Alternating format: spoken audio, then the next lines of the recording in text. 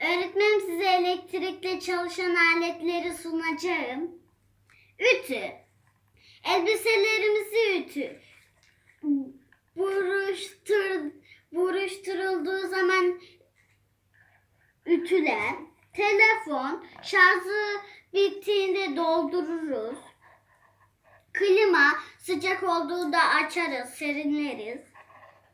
Çamaşır makinesi. Elbisemiz kirlendiğinde elbiselerimizi yıkar. Buzdolabı, yemeklerimiz bozulmasın diye buzdolabına koyarız. Lamba, karanlıkta kalmayalım diye lambayı yakarız.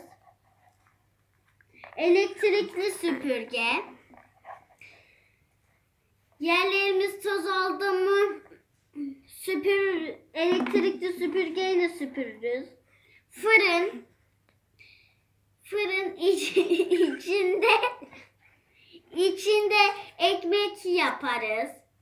Öğretmenim sunumum bu kadardı. Öğretmenim sizi çok seviyorum.